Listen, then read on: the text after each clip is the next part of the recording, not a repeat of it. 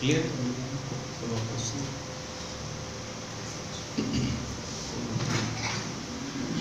Okay जी, सबसे पहले जो है, उम्र को कवर करेंगे हम। उसके बाद अगर टाइम मिला तो वीज़े पे बात करेंगे हम लोग। उम्र के हवाले से अब स्टेप बाय स्टेप इसको सुनते जाइए और समझते जाइए। तीन चार चीज़ें इसमें आपको देखनी है। कुछ चीज़ें वो हैं जिसको हम कहेंगे कि जो चीज़ें सामने नज़र नज़र आ रही हैं।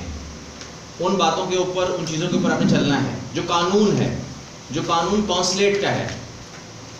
सऊदी कौंसलेट का है या सऊदी सिस्टम का है, अब उसके अंदर हम किसी भी फिरके की बात नहीं कर रहे, किसी भी और ऐसी चीज़ की बात नहीं कर रहे, जो चीज़ें हमें फॉलो करनी है, कानून है वो। और कुछ चीज़ें ऐसी हैं जो सामने नहीं होंगी। जो चीज़ें सामने नहीं होंगी, उनको आपने अपनी इंटेलिजेंस के ज़रिए जो है, वो सोचना है। तो उन पर भी बात कर लेंगे आज। ठीक है ना? सबसे पहले बात करेंगे डॉक्यूमेंटेशन के ऊपर। कौन आदमी एलिजिबल है? कौन इंडिविजुअल जो है वो उम्र कर सकता है? या कोई इसकी कोई पाबंदियाँ हैं? तो सबसे पहले आप लोग जान जाइए कि अगर कोई मर्द 40 साल का हो चुका है कंप्लीट एज पर पासपोर्ट तो बिल्कुल वो अकेले उम्र परफॉर्म कर सकता है। उसके लिए कोई पाबंदी नहीं है। और अगर कोई औरत 45 साल की हो चुकी है कंप्लीट तो उसके लिए भी सऊदी कौंसलेट कोई प्रॉब्लम नहीं देता। उसका अपना वीज़ा है, जिसको वो नाम देते हैं सेल्फ वीज़ा ठीक है? ये एक कंडीशन है। ये एक शक्ल है वीज़े की, जिसको आप नाम देते हैं सेल्फ वीज़ा सेल्फ वीज़े की कैटेगरी में कोई महरम इंक्लूड ही नहीं होता। सेल्फ वीज़े में कोई महरम इंक्लूड नहीं होता। औरत का पासपोर्ट अगर सेल्फ वीज़े पे है तो फिर उसमें कोई भी मर्द का नाम नहीं लिखा हुआ होगा। लेकिन आपने ये देखा होगा कि आपके पास कोई क्यूरी आती है तो वो कहते हैं कि जनाब वाला, मेरी उम्र 30 साल है 32 साल है 35 साल है तो क्या मैं अकेले उम्र कर सकता हूँ? उसका ये सवाल बता रहा है कि वो पहले से जानता है कि कुछ पाबंदी यहाँ मौजूद है। तभी वो आपसे पूछ रहा है, वरना आपसे सीधा कहता है, मुझे उम्र में भेज दीजिए। ठीक है ना? तो क्या मैं उम्र कर सकता हूँ? का जवाब वही है, जो पूरे पाकिस्तान के लिए है कि 35 साल का आदमी 30 साल का आदमी या 40 साल से कम का आदमी अकेले ट्रैवल कानूनी तौर पर नहीं कर सकता। तो फिर वो कैसे ट्रैवल करता है? वो फिर ट्रैवल एजेंट्स जो हैं, उसको फेक डॉक्यूमेंट के ज़रिए गलत स्टाम्प पेपर बना के हल्फनामा जिसे हम कहते हैं आम जबान में बना के झूठा हल्फनामा जमा करवा के, किसी के साथ फुप्पी बना के कोई खाला बना के, कोई चाची बना के, महरम कौन महरम कौन होता है? महरम वो होता है जिसके साथ आपका निकाह जायज़ ना हो, वो बना के, अब ज़ाहिर सी बात है कि महरम को आप क्या मानते हो? जिसके साथ निकाह जायज़ ना हो। तो एक गैर औरत को अपनी बहन बना के या चाची बनाकर जब आप उम्र करने जाओगे तो वो आपकी असल में तो बहन नहीं है, असल में तो आपकी वो चाची नहीं है तो वो कंडीशन आपकी फेक डॉक्यूमेंटेशन के ऊपर बेस करना शुरू कर देती है। बाकी आप लोगों का सवाब नहीं है जो इसको सोचें आप। मज़ीद ये होगा कि वो जो औरत जो आपके साथ जोड़ी जा रही है ठीक है ना वो कोई भी है पता नहीं कौन है तो उसके पासपोर्ट और उसके वीज़े में अगर आप 40 साल से कम हैं तो आपका नाम आ जाएगा। ठीक है ना बात समझ रहे हैं? यानी कि उसके पासपोर्ट में आप महरम के तौर पर रिफ्लेक्ट कर जाओगे तो बाज़ अवत ट्रेवल एजेंट जो है वो आ, वो बताते भी नहीं है। कि मैंने कोई, आपको कोई आपको कोई महरम का चक्कर चलाया भी है। वो गर्ज पाँच हज़ार रुपये के लिए, दस हज़ार रुपये के लिए, सात हज़ार रुपये के लिए वो ये काम कर जाता है। लेकिन कभी कभार जो होता ये है कि आप देखते हो कि एयरपोर्ट के ऊपर एफ़ जो है, वो जान जाती है, समझ जाती है कि ये स्टाम्प पेपर जो लेकर आया है, यानी कि एक जो फैमिली ट्री होती है, वो पकड़ी नहीं जाती है तो नज़र आ जाती है। अब आप कहते हो, सर, मुझे वीज़ा तो मिल गया। वीज़ा इसलिए मिल गया क्योंकि सऊदी को, सऊदी गवर्नमेंट को या कौंसलेट को आपसे झूठा हल्फनामा जमा कराने की उम्र के लिए उम्मीद तो कोई नहीं थी उनसे। वो कहते हैं, यार, उम्र करने जा रहा है, मुसलमान है, झूठा बोलेगा? ठीक है ना? लेकिन आपको पता भी नहीं होता क्लाइंट को पता भी नहीं होता और ये काम हो चुका होता है। ठीक है ना? अब कोई आदमी इसको सीरियस लेता है, कोई कहता है कि, यार, सब सब चलता है। अगर सब चलता है तो फिर सभी चलाओ। लेकिन अगर सब नहीं चलता तो गौर व फ़िक्र की ज़रूरत है। लेकिन ये सोच मैं आप पे छोड़ता हूँ, मैं इसके ऊपर कोई फैसला नहीं सुना रहा। आप लोगों की मर्ज़ी है तो दूसरा भी ठीक है ना? लेकिन मैं बात कर रहा हूँ कि रूल क्या कहता है 40 साल का मर्द होगा तो सेल्फ वीज़े पे जाएगा 45 साल की औरत होगी तो सेल्फ वीज़े पे जाएगी। बाकी अगर आ, आ, आपके साथ आपकी बहन जा रही है बीवी जा रही है और बीवी का मसला बीच में डाल दीजिए। बीवी का मसला ये है कि अगर बाज़ आप सुनते हैं कि नया निकाह हुआ है अभी निकाह हुआ है कोई और प्रूफ नहीं है यानी कि पासपोर्ट और आईडी कार्ड ये बताने से भी कासिर है कि ये इसकी बीवी है। ठीक है? दोनों चीज़ें अभी अभी उसको आ, वो नहीं कर रही। तो उसको ना कि सिर्फ़ निकाहनामा अपना जमा करवाना होगा पासपोर्ट के साथ बल्कि ओरिजिनल निकाहनामा जमा कराना होगा। ओरिजिनल की अहमियत है। अगर आप फोटोकॉपी लेंगे या ट्रांसलेशन जो ना देती है ये हमारे जो डॉक्यूमेंट वाले बैठे हैं ट्रू कॉपी वो नहीं चलती तो आप लाजमी तौर पर उनसे ओरिजिनल निकाहनामे का तकाजा करेंगे। अभी तमाम चीज़ें अच्छा मज़ीद ये है कि अगर आप, हमें, आपके पास कोई ये भी कहेगा कि ये मेरी सगी भांजी है, बहुत फ्रिक्वेंटली काम होता है, ये मेरे, ये मेरा भांजा है, ये मेरा भतीजा है एंड सो ऑन तो सिर्फ़ ये कह देने से मैं तो मान जाऊँगा कि ये इसका भांजा है और होगा, ये सही कह रहा होगा, लेकिन इसकी एंट्री गवर्नमेंट को, यानी कि सऊदी गवर्नमेंट उसका सबूत मांगती है कि अगर भांजा है तो प्रूफ कीजिए। उसका प्रूफ बड़ा आसान होता है। भांजा का भतीजा का प्रूफ बड़ा आसान होता है कि आप जो है उसको अपने डॉक्यूमेंट के ज़रिए यानी कि अगर फॉर एग्जांपल कोई मेरा भतीजा होगा तो उसका जो मेरा जो भाई होगा हमारे फादर सेम होंगे। वहाँ से फ्री हम उठाते हैं और उसको डॉक्यूमेंट के साथ लगाते हैं और वो जुड़ जाता है। ठीक है ना? इसी तरह भांजे का मसला है इसी तरह कोई भी आपका अगर कोई रिश्ता है चाची है या आप बोलते हैं सर मेरी आ, मामी है या ऐसा कोई भी रिश्ता है तो वो उसका नज़र आ जाता है उसका कोई मुश्किल नहीं। अगर असली हो तो। तो नकली होगा तो फिर अगर आप एफ़ आर सी बनाते हो तो ये आपकी मर्ज़ी है एडिटिंग से आजकल क्या नहीं होता। लेकिन मैंने कहा कि वो वाला मसला मैं आप लोगों पे छोड़ रहा हूँ। जब आप लोगों ने फैसला करना होगा तो क्या करना है? करना भी है कि नहीं करना है? या काम छोड़ देना है वो वाला। वो वाला काम, ठीक है ना? एक तो है ना, ये वाला काम, एक है वो वाला काम। तो ये वाला काम तो हम सीख रहे हैं। वो वाला काम जो है, मैं आपको छोड़ता हूँ कि आपका दिमाग इस वाले काम में लगा हुआ है या उस वाले काम में लगता है। ये बिल्कुल ही मैं, मैंने आपके ऊपर छोड़ दिया। अच्छा उसके बाद अच्छा मैं आपको बताऊँ कि जब हम मीटिंग्स वगैरह करते हैं एफ़ वाले हमारे दोस्त हैं, जो एयरपोर्ट पे भी काम करते हैं, हमें भी जानते हैं वो लोग, थोड़ी बहुत जानशान हमारी भी है। और वो हमें कहानियाँ सुनाते हैं एफ़ वाले, कि फ़लाँ एजेंट के मैंने बीस बंदे चढ़ाए, दस बंदे चढ़ाए, वो कौन से होते हैं? मतलब जब मैं अगर किसी को उम्र दूँगा तो थोड़ी चढ़ाएगा उसको, वो तो खुद जाएगा ठीक है ना? ये चढ़ाई का मसला होता ये है, फिर हम उनसे ये पूछते हैं कि कितने कमाए? जब तुमने दस चढ़ाए तो कितने कमाए? तो वो कहता खूब कमाया। ठीक है ना? तो भाई बात ये है कि पाँच दस हज़ार रुपये के लिए आपने गाम गेम खेला और वो आपसे एफ़ आई आर ले, ले लिया। अल्टीमेट रिज़ल्ट ज़ीरो ही आया ना आपका। अगर ज़ीरो आया तो क्या मुकाला करते हो? ठीक है ना? सीधी सी बात ये। ओके ये बात हो गई। और हो सकता है कि वो रोक भी दे। अगर आपने खिलाया पिलाया नहीं तो शायद रोक भी दे। ठीक है? ओके तो नुकसान बड़ा भी हो सकता है। एजेंट एजेंट एजेंट का कसूर है ना ये तो, क्लाइंट तो वहाँ भी पैक ऑफ़ कर जाएगा। बोलेगा मुझे नहीं पता सर आपने मुझे कहा चले जाओगे? मैं नहीं जा सका। तो लिहाजा मेरे पैसे वापस कर दीजिए। अब आपने भी पैसे लगाए हैं कोई मज़ाक तो नहीं है। Ticket visa transport package free में तो आपका भी नहीं आया होगा। ओके डॉक्यूमेंटेशन क्या रिक्वायर है जी? डॉक्यूमेंटेशन रिक्वायर है ओरिजिनल पासपोर्ट छः महीने वैलिड होना चाहिए। ओरिजिनल पासपोर्ट छः महीने से कम का ना हो। छह महीने से ऊपर चलेगा। ये हो गया। तीन तस्वीरें या चार तस्वीरें ब्लू बैकग्राउंड में उम्र के लिए स्पेसिफिक पिक्चर्स होती हैं। उम्र के लिए ख़ास पिक्चर्स होती हैं, लेकिन आप लोग जो हैं, वो अगर पासपोर्ट साइज़ ब्लू बैकग्राउंड भी कर लोगे तो कोई मसला नहीं ये हो गया। उसके बाद आईडी कार्ड की कॉपी काफ़ी है।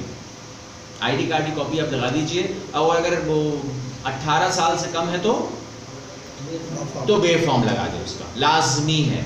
और अगर वो उसकी जो अगर वाइफ है और वो प्रूफ नहीं हो रहा तो फिर एडिशनली निकाना लगा दीजिए। और अगर वो उसके बीच में भांजा भतीजा आ गया है तो एडिशनल डॉक्यूमेंट की रिक्वायरमेंट वहाँ पर आप तकाजा कर सकते हैं। ये आपका राइट है, इसके अलावा वीज़ा लगेगा नहीं।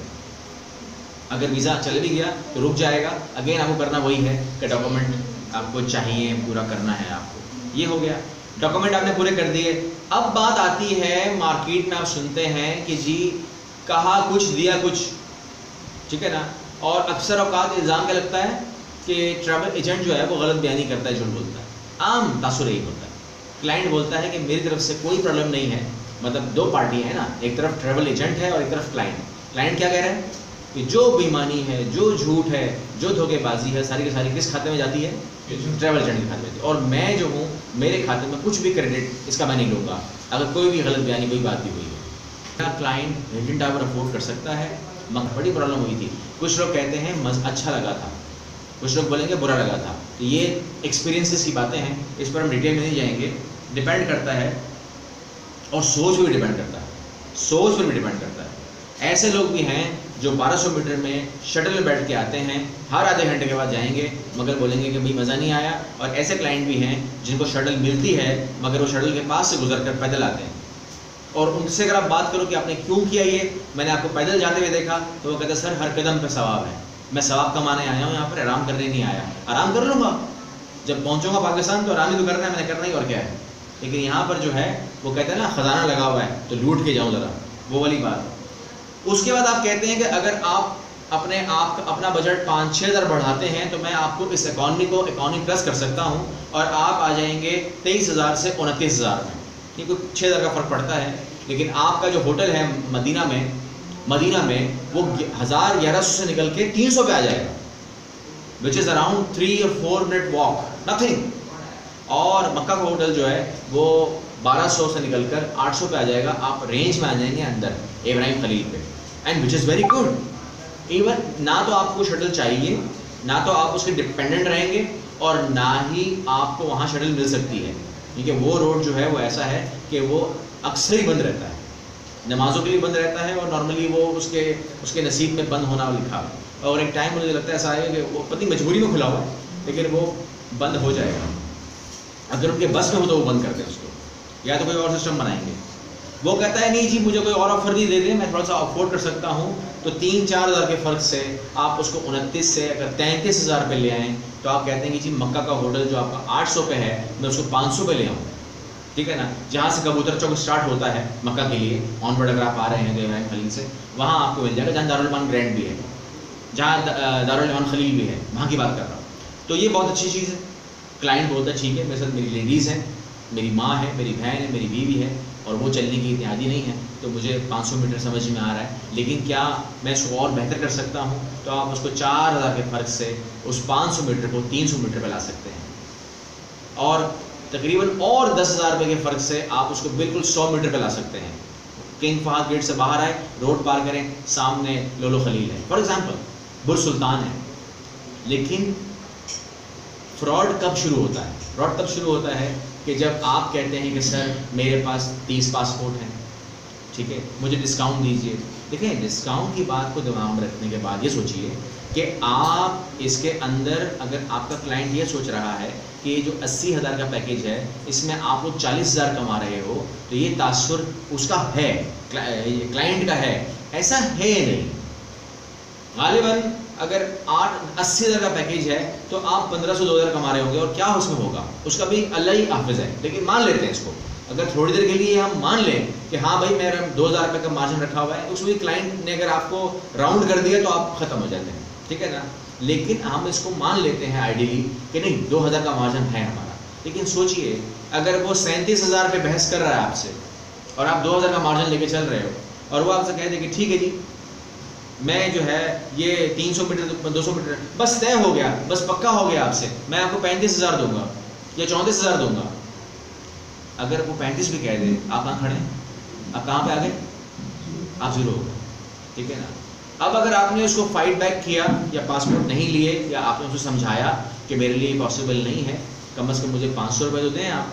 अगर ऐसी कोई बात होती है दैट इज़ फाइन अगर आप ये फाइट नहीं कर पाते तो फिर वो आदमी परेशान होकर बैठ जाता है एजेंट उसने फ्रॉड करना नहीं है, मगर परेशान कर बैठ जाता है। और वो सोचता है सोचता है सोचता है, फिर सोचता शैतानी दिमाग में आती है। कहता है, यार, मुझे तो एक रुपया भी नहीं मिलेगा। और ये मुझे ठीक ठाक तक नहीं करेगा। वहाँ भी पंद्रह दिन जलील करेगा। यानी कि फ़ोन करेगा, ये हो गया, वो हो गया, पानी गर्म नहीं है, गर्म करो, तौलिया नहीं मिल रहा, तौलिया तो अरे भाई तौलिया नहीं होता वहाँ पर, क्यों नहीं होता? दुबई में तो मिल गया था। अरे भाई ये दुबई नहीं है, मक्का है अच्छा चलो कोई बात नहीं। यानी कि वो सारे होटल वाले काम भी आपसे करवाएगा, ठीक है ना? वो और भी फरमाइशें करेगा। वो मैंने बाहर आपके, आपने कैसा होटल दिया, इसके बाहर जो रेस्टोरेंट है, मैंने वहाँ चाय पी, वो ठंडी थी। अच्छा भाई, माँ गलती हो गई। मैं गर्म करके करूँगा। ठीक है ना? वो थर्मास रखा हुआ है, जो हीटर रखा हुआ है, वो चाय सही गर्म ही नहीं करता। बड़ी गलती हो गई, मैं चेंज करवा देता हूँ, मैं फ़ोन कर देता हूँ। हालाँकि वो ये बातें अपने होटल में काउंटर पे भी कर सकता है, उसको भी खर्चा बचेगा, अगर वो जहन लड़ाए तो आपके ऊपर जो पाँच पाँच छः छः सौ खर्च कर रहे हैं ना कि कॉल पे, वहाँ पर वो उतने पैसों में चीज़ खरीद ले, जितनी चीज़ों कह रहा है। आपको उसने पाँच सौ रुपये कॉल कर दी कि तौलिया नहीं है, और आपने कहा तौलिया होता ही नहीं है, वो सौ रुपये का कोई रुमाल खरीद लेता अपने लिए। अच्छा सा। वो मुँह साफ़ कर लेता। लेकिन बहरहाल ये उसकी सोच है कि मैं पैसे दे के आया हूँ। पैसे दे के तो आए हो, लेकिन अस्सी हज़ार में बाकी तमाम चीज़ें तो आप ले गए। मतलब अस्सी हज़ार देने के बाद अठहत्तर हज़ार की सेवेंटी नाइन की चीज़ें तो आप ले गए मुझसे। ठीक है ना? टिकट आप ले गए, वीज़ा आप ले गए, ट्रांसपोर्ट आपको मिल रही है, होटल आपको मिल रहा है। तो मेरे पास छोड़ा क्या है आपने? हज़ार रुपये के चक्कर में वो आपके साथ वो सलूक करता है कि मैंने आपको पंद्रह दिनों के लिए हायर किया हुआ है। ठीक है ना? और उसे दिमाग में एक तस्वर बना सर ये तो फिर भी होटल के बाद वो हरम शरीफ में अगर कोई दूसरे से गुम हो जाए उसके बारे में पूछते हैं।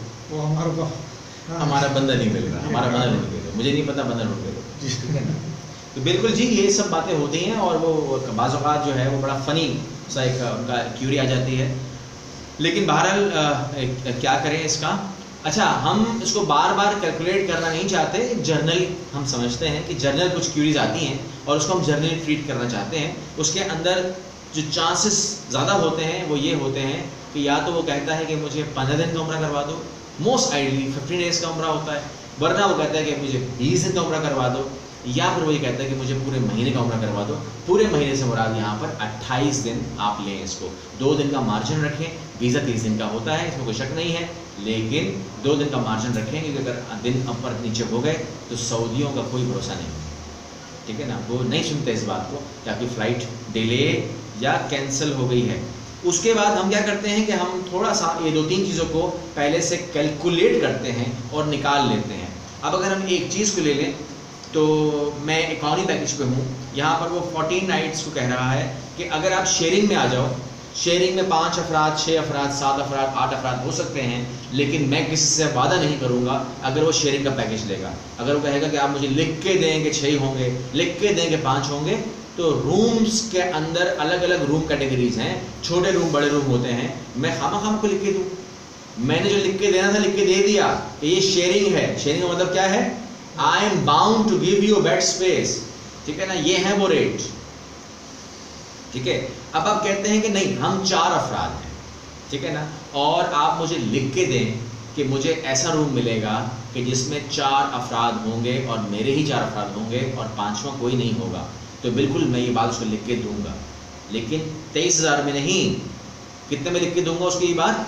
पच्चीस हज़ार में। जी अब उसका हक बन गया है, वो सही कह रहा है, उसका ये पैकेज पच्चीस हज़ार रुपये में और प्राइवेट रूम कॉर्ड रूम चार लोगों के हिसाब से बिल्कुल होना चाहिए। ये उसका राइट है।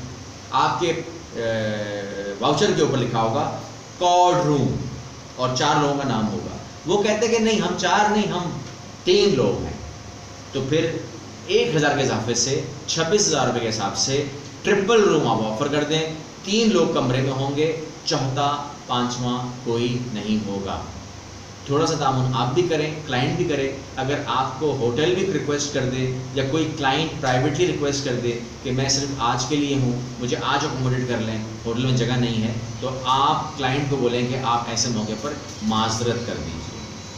जो आप यहाँ से लेकर गए हैं, आप उसी पर उसको चलाएँ। और फिर ऐसा भी कोई फैमिली आ सकती है जिसमें दो अफराद हों। और दो अफराद जो हैं वो इकतीस हज़ार रुपये के हिसाब से आपसे डबल रूम मांग सकते हैं। ये है चौदह रातों के लिए, पंद्रह दिनों के लिए। अगर वो कह दें कि बीस रातें करवा दें या आपसे वो कहें सत्ताईस रातें करवा दें तो आप अकॉर्डिंगली उसको ये ऑफ़र जो आपके पास अवेलेबल है, अगर तेईस हज़ार है तो चौदह दिन। अगर बीस रातें हैं तो पच्चीस हज़ार, सिर्फ़ दो हज़ार बढ़ जाएँगे, पाँच रातें बढ़ जाएँगी। और अगर वो चौदह की जगह सत्ताईस रातें लेना चाहे तो ये तेईस से अट्ठाईस हो जाएगा, यानी कि पाँच हज़ार रुपये का इजाफा होगा, और इस पाँच हज़ार में उसको मिलेंगे extra fourteen nights extra fourteen nights तो लेकिन डिपेंड ही करता है कि क्या उसके पास एक महीना रहने के लिए है। फिर उसके बाद अपनी नॉलेज बनाइए, और अपनी नॉलेज इस तरह बनाइए कि आपको अपने फ्लायर के ऊपर मुकम्मल अबूर हो। क्या मतलब हुआ इसका? यानी कि आपको अपनी प्रोडक्ट के बारे में पूरी नॉलेज हो। नॉलेज कैसे लाएँ? आपके पैकेज में टिकट है तो टिकट कौन सा है, वो कहाँ से जाएगा, और किस तरह स्टे और कितना स्टे करेगा? नंबर वन जहाज़ों के बारे में मालूम दे दीजिए। उसके बाद अगर वीज़ा है तो वीज़ा प्रोसेसिंग टाइम वीज़ा किस तरह होगा, क्या होगा, ये मालूम आपको होनी चाहिए। ज़्यारतें क्या होती हैं, किस तरह देंगे? ये पूछें अपने वेंडर से, बात करें, बैठ के मीटिंग करें एक दफ़ा कि मुझे पूरा ब्रीफ करें कि ये सब सूरत हाल ज़्यारतों की कैसे होती है। यानी कि अगर क्लाइंट आपसे कह रहा है कि ज़्यारतों के बारे में ज़रा तफसील से बताइए किस तरह आप लोगों की अरेंजमेंट है। अब आप उसको देख रहे हैं गौर से और खामोश हो गए। ठीक है ना? क्योंकि आपको कभी, आपने कभी ना की और ना कभी आपने करवाई। तो आपकी खामोशी जो है मुनासिब नहीं है। अगर आपने नहीं की, कोई बात नहीं। उसको आप अपने वेंडर के साथ बैठ कर बोलें, मुझे पूरा ब्रीफ करें कि किस तरीके से, कब पिक करते हैं, कब छोड़ते हैं। कोई मेरी नमाज़ तो ख़राब नहीं कर दोगे अपनी ज़्यारतों के चक्कर में, वो आपसे पूछ रहा है। तो आपका फ़र्ज़ क्या है कि आप उसको प्रॉपरली बताएँ कि नहीं, आपकी नमाज़ डिस्टर्ब नहीं होगी और आपको टाइम पर जो है, वो हरम के पास ड्रॉप कर दिया जाएगा। कब पिक करेंगे, क्या होगा, कहाँ उतारते हैं, कहाँ नहीं उतारते, ये आपके वेंडर को पता है। लेकिन इसके लिए आपको उसके साथ बैठना होगा। उसके बाद होटल्स के बारे में आपकी नॉलेज बहुत ज़रूरी है। क्योंकि हर आदमी, चाहे वो पहली बार जा रहा होता है, लेकिन वो होटल के मामले में ऐसे ही पूछ रहा होता है, जैसे वो हर साल या वो दस साल से रेगुलर जा रहा है, और उसको हर चीज़ का पता है। पूछता ऐसे ही है होटल बताओ होटल का नाम बताओ डिस्टेंस बताओ, किस तरफ़ है ये बताओ? उसको, वो पहली बार जा रहा है, लेकिन वो आपसे ऐसे ही सवाल करेगा।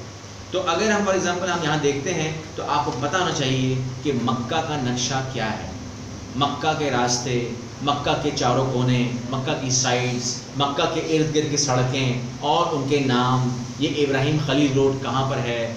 शार हिजरा किसे कहते हैं? जुमैज़ा का इलाका किस तरफ़ से आता है? वहाँ पर और क्या है? ये एजाद क्या है? ये तमाम कोने, तमाम चीज़ें आप अपने मैप के ज़रिए, गूगल के ज़रिए और अपनी जो आपकी टेक्नोलॉजी है उसके ज़रिए आप उसको अवेल कर लें। और उसके बाद आपको आपका वेंडर, अगर अच्छा वेंडर है तो आपको वो मैप्स प्रोवाइड कर देगा, गूगल मैप प्रोवाइड कर देगा, या कोई अपना बनाया हुआ कोई सॉफ्टवेयर दे देगा, जिसमें इंडिकेशन आ रही होगी कि आपका होटल यहाँ पे है। नाम के साथ होगा या कोई उसने रास्ता बनाया हुआ होगा। इस तरह गूगल मैप बनता है। और आप बहुत गौर से मैप मैप मक्का को देखें, मक्का की लोकेशन को देखें, जो उसके बाब हैं, उनके नाम वहाँ लिख लें। अगर लिखे हुए हैं तो अच्छी बात है, नहीं लिखे तो लिख दें कि बाब फ़हद किस तरफ़ है, अब्दुल अज़ीज़ किस तरफ़ है, बाब मरवा किस तरफ़ है।